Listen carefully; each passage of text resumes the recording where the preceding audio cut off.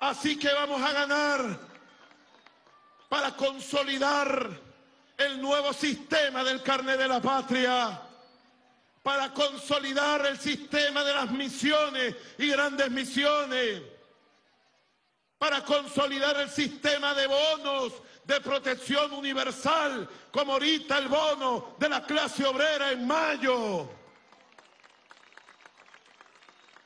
Y el próximo domingo vamos a depositar un bono a las madres venezolanas de un millón quinientos mil bolívares de regalo a la madre.